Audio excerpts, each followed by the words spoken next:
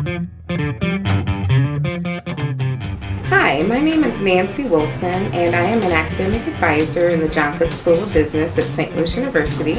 I have been advising here for six years, and as an advisor, we do develop the what we call developmental approach for our advisees. We give them one-on-one service. We also provide them with the knowledge of using faculty mentors to their advantage as well, so they have us to assist them as well as the faculty members and any staff. We provide wonderful counseling for our students and we help provide them with the right tools that they'll need in life.